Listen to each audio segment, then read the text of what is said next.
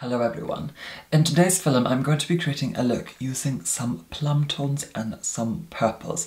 I want to use some of the most beautiful purples that I have within my kit and colours that inspire me. Now here upon the platform www.youtube.com I have produced and shared with you all looks that involve purple eyeshadow. Some of them have been very very bright, some of them have been slightly more muted, but today I want to create a look that's quite soft but has slightly more plum tones tones to it, but a slight bit of purple as an addition. Now I have already gone in and applied moisturiser as well as eyebrows. Today I used my consistent go-to moisturiser, which is Embryolisse La Cream Concentrate. I've also gone in and drawn on eyebrows. Today I used some of Kryolan's Dermacolor Cream Concealer in the shade D40, which is this beautiful army green grey colour. Stenciling and sketching out the shape with a MAC 263, I further went in and created depth and dimension to the eyebrow with individual strokes of Inglot's powder eyeshadow in the shade 329. And I just darkened the eyebrow slightly and used it to set the D40 colour. Now a short while ago my eyes were very irritated and slightly inflamed as the skin around here was very pink and red and slightly raw. I'm not necessarily sure why, but they were slightly resembling the anus of a flamingo. So I went in and applied some of Urban Decay's eyeshadow primer potion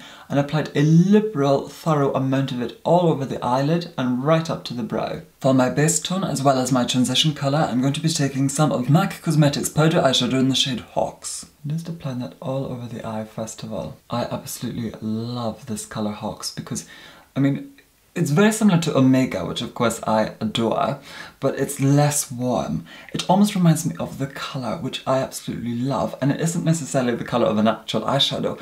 It's more a case of when you are taking off your makeup and you put on the pads with a little bit of makeup remover and then you take them off, and there's almost this slightly smoky, taupey, cool-toned effect across the eyes, even though they're simply dirty.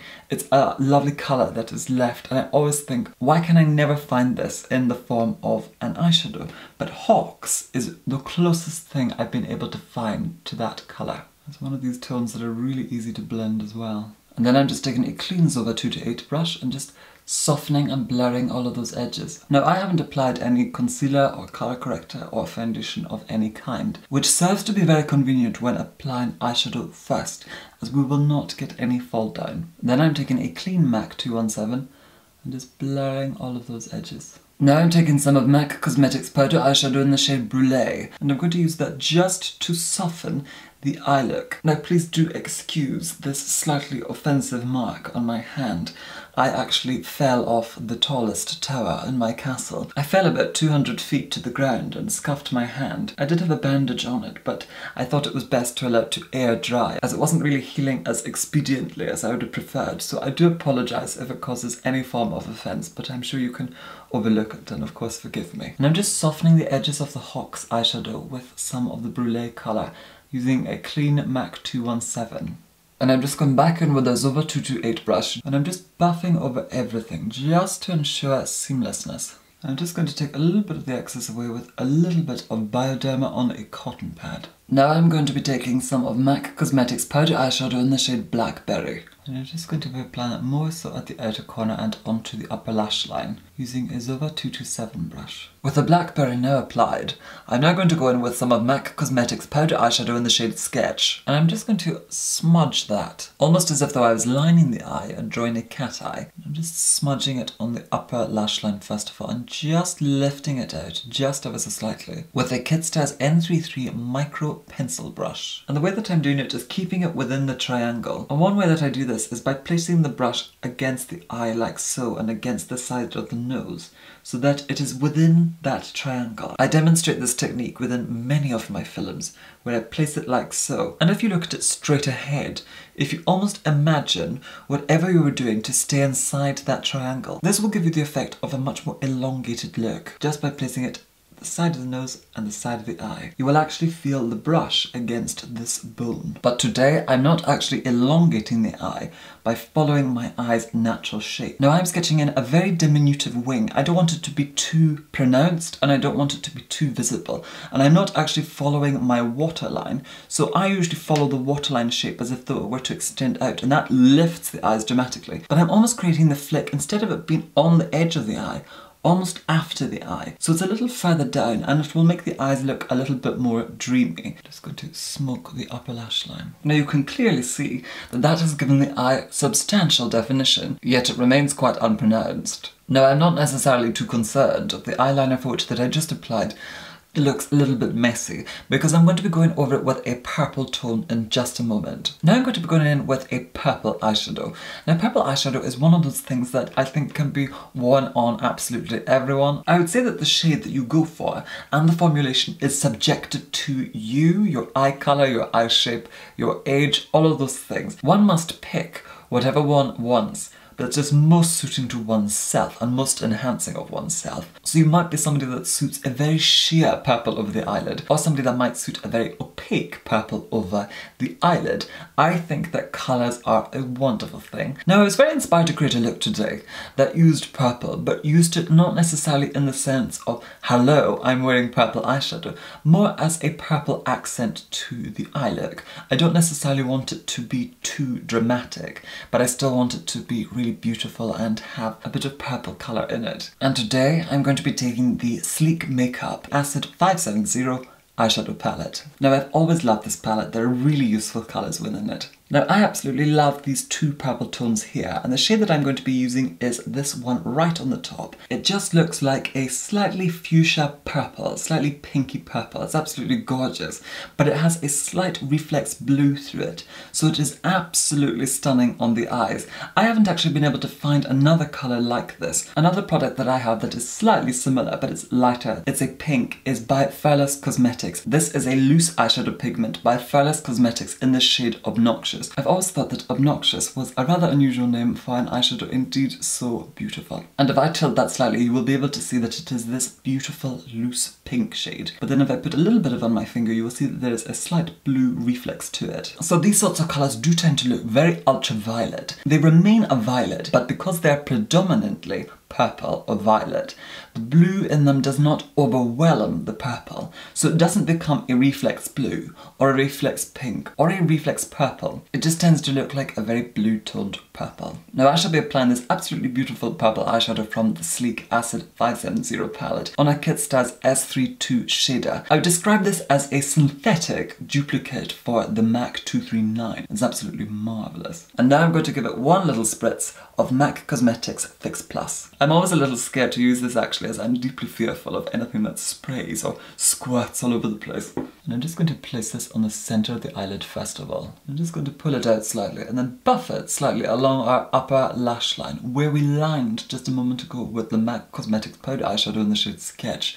I just want to buff it into that. So with that absolutely beautiful violet tone now applied, I'm just going to go back in with some of our blackberry colour and just blur those edges. Just really start to buff it in. With that violet tone now applied, it hasn't given me the exact level of iridescence that I would prefer, and not getting my own way in life is not something that I have ever experienced. So I'm going to go in with some of that obnoxious colour just on the centre of the eyelid, just to boost the sheen just ever so slightly. And I'm just using the same S3 brush just apply that on top. And even though I've just crudely applied it, I haven't really organised its shape. Just looks absolutely beautiful just like that. I'm now going to go in and curl my eyelashes using some of Inglot's eyelash curlers. For mascara, I'm going to be taking some of the Balm's What's Your Type in the shade Black. And I shall presume if you are a regular viewer of mine, you are probably very used to me saying that. Now the eyes are temporarily complete. I will have to go back in and do a little bit of eyeshadow underneath the eye, as well as touch up the mascara and apply false eyelashes, but I shall be doing that near the end, once I have applied and completed my foundation and concealer and powder. Now during the eyeshadow application there was a considerable amount of fall down. To clean that up I'm going to take some of Bioderma's makeup removing solution on a cotton pad, just taking off all of that product. For foundation, I'm going to be taking Huda Beauty's Faux Filter Foundation in the shade Milkshake. And I'm applying that with a Real Techniques pointed foundation brush. I actually want to keep my skin looking quite natural today. So I'm going to sheer this out And I'm just very carefully drawing around the eyebrows. Now part of the reason why I selected this foundation for use is because it doesn't really serve very well when brushed on. It either needs to be stippled on with a brush or buffed on, or stippled on with something like a beauty blender. It does tend to look best when it has been stippled. Now I'm going to stipple all of that into place using a Real Techniques Expert Face Brush. Now I have evened out the foundation. With the foundation applied and correctly texturized, I'm now going to go in and apply some of MAC Cosmetics Full Coverage Foundation in the shade W10. And I will be applying it in the central areas of the face. Because this foundation is quite pink, this will actually serve as my colour corrector for under eyes. And I'm applying it on a clean Charles Fox 81464 05 brush. Now I quite like the way my natural skin is looking. I'm only going to apply this in the central areas which require greater coverage, as I do not want to mask the skin entirely. Even though I have gone over everything with Huda Beauty's Faux Filter Foundation in the shade Milkshake, I only applied a thin layer just to even out the complexion, but you can still see my skin underneath it. And I'm going back in with our buffing brush for which that I used just a moment ago, just to correct the foundation. And I'm just stippling that all over the concealer for that I just applied. And to set all of that through, I'm going to be taking some of Inglot's Mattifying Loose Powder this one is translucent. I'm just setting underneath the eye first of all with an Inglot 6SS brush. And then setting the areas that require less precision with a Crown Brush S205 pointed blush brush. Now I'm going to go back in with my eyebrow brush from before and I'm just going to go in and correct the eyebrows as they will have been a little bit smudged and displaced from the application of the foundation and the concealer. With the eyebrows complete, I'm now going to move on to contour. And to contour today, I'm going to be using this Sleek Makeup Face Contour Kit in the shade Light. And to apply it, I'm using a Zoeva 126 brush. For blush, I'm going to be taking some of Illamasqua's powder blusher in the shade Sophie. And I'm just going to apply a very faint amount of this as it's very strong on a NARS number 6 brush. Now I've applied a little bit more blush than I had originally planned to do so, so I'm just going to go back in with my powder brush from before and the remaining loose powder on the brush. I'm just going to stipple it over the blush of which that I applied and want to mute down. This technique just reduces the severity of the blusher. This can also work if your contour is too strong. To highlight, I'm going to be taking the Jeffree Star Cosmetics Platinum Ice Skin Frost Pro palette. And I shall be using this shade right here, which is Pink Chill. And I'm going to apply it on an Inglot 4SS brush. And I shall employ a slight amount of it at the bridge of the nose, just to lighten that area. A tiny bit of it on the chin tiny bit of it across the forehead. Then I'm going to highlight my inner corners with a slight amount of it with a Kitstar's S30 small tapered brush. Now for lips, I was going to go for my usual nude shade, but today I decided no. Do you know what? I'm going to go for something that's purple as well and something strong, something darker. For lips, I'm going to be applying Illamasqua's cream pigment in the shade Depravity, which is this absolutely beautiful, bright yet slightly muted purple shade. And I'm applying it with a MAC 231 brush. With that lipstick now applied to the lips, I'm now going to go in and apply an additional product to the lips, just to build greater depth. And to do so, I'm going to take some of Illamasqua's cream pigment in the shade Mold. And I'm just applying it to the outer corners first of all and I'm just dabbing onto the lip a tiny amount of MAC Cosmetics lipstick in the shade Girl About Town. And before I complete the look, I'm now going to take a Kitstar's S33 micro pencil brush with some of our Haux colour from before, and I'm just smoking the lower lash line with that. Connecting what we've applied on the eyelid and the top part of the eye with the underneath. So that more or less completes the look. I went in and further added a set of false eyelashes. These ones are from an eBay retailer, as I do tend to go for more affordable options for eyelashes, as I discard them straight after use. The overall look has resulted in being quite vampy, but I absolutely love it. I'm so glad I went for a purple lip, something a lot more full on. I think it just brings the look to life. I think a nude would have been wonderful, but I think purple in this event has been a marvellous choice. And even though the eye look may appear very, very strong, it is actually unbelievably simple, and we only used one or two tones. And sometimes, when you wear strong or heavy eyeshadow looks, you can actually soften the appearance of the eyeshadow by only applying the fullest strength of the eyeshadow on the upper eyelid. As you can see, I've left the underneath relatively bare, aside from a slight amount of that Haux colour, just to tie everything together nicely. And I certainly have had a lot of fun creating this film for you here today. And I hope that you found today's film to be either interesting, useful, helpful, or beneficial. And once again, thank you so much for watching. And of course, take care. Bye!